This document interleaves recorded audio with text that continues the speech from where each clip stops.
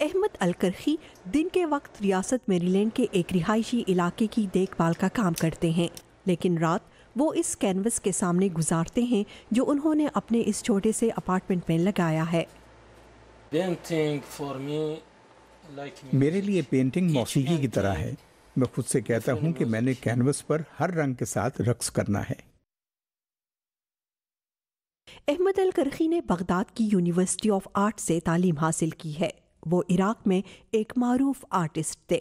دو ہزار چھ میں تشدد سے بچنے کے لیے وہ شام آئے اور انہیں ایک بار پھر بے گھر ہونا پڑا۔ اس مرتبہ وہ بیوی بچوں سمیت امریکہ آ گئے۔ یہاں آ کر ان کی زندگی ہی نہیں کام بھی بدل گیا۔ میرے ملک میں بہت سارے رنگ نہیں تھے۔ بس گرے اور براؤن ہی تھا۔ یہاں میں نے چار موسم دیکھے اور بہت سارے رنگ دیکھے اور اس وجہ سے میرے فن میں تبدیلی آئی۔ میں اپنی تصویروں میں زیادہ سے زیادہ رنگ بھرنا چاہتا ہوں۔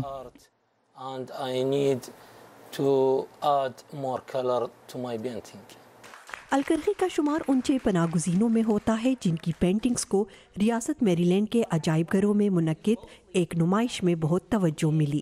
اس نمائش میں عراق صومالیہ اور ایتھوپیا کے پناہ گزین فنکار شامل ہیں۔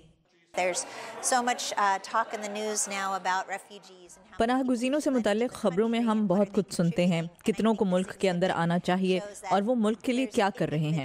اس نمائش سے یہ پتہ چلتا ہے کہ پناہ گزین کہلانے والے کتنے منفرد لوگ ہیں۔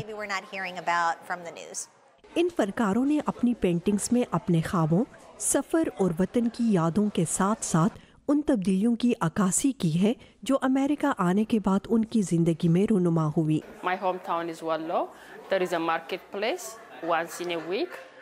میرا آبائی شہر ولو ہے۔ وہاں ہر ہفتے بازار لگتا ہے اور لوگ صرف خرید و فروخت کے لیے نہیں بلکہ بہت سے مقاصد کے لیے آتے ہیں۔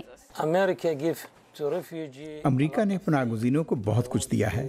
میں بہت سی خوبصورت پینٹنگز تخلیق کر کے اس ملک اور اس کے لوگوں کو دینا چاہتا ہوں۔ تاکہ وہ اس سے لطف اندوز ہو سکیں۔ الکرخی کو امید ہے کہ ایک دن ایسا ضرور آئے گا جو وہ اپنے نئے گھر امریکہ میں بھی وہی شہرت حاصل کر لیں گے جو انہیں اپنے آبائی وطن عراق میں ملی۔ جوسو کے ساتھ شہناز نفیس اردو وی او اے۔